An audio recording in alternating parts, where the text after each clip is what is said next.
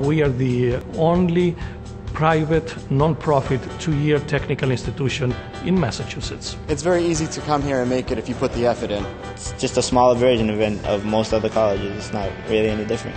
The staff and faculty here really care about the student, and we put a lot of time and effort into make sure that they get the proper education. I can't say that I've ever excelled as much in my past as I have at this school. It's really been a pleasure. Everyone, every step of the way, is trying to help you better yourself.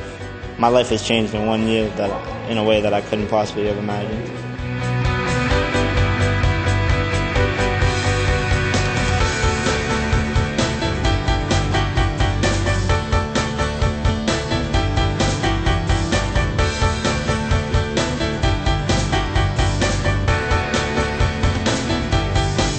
Thanks to Liberty Mutual, we were able to build this alternative fuels lab where our students are able to get a strong foundation on all year makes and models of the hybrid vehicles that are out there.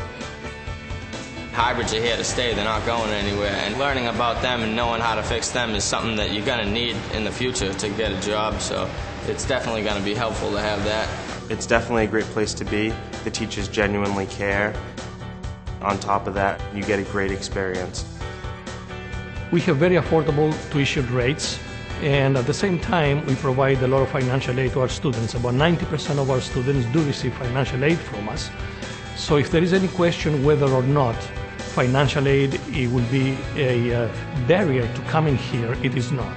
I decided to come here because I found out how many students were actually excelling, and there's actually a few people that I know that have graduated from here who've gone far in the fields that they've chosen. You have the guy with education and the guy off the street. You know, it's not. It's just not. It's an easy choice to make.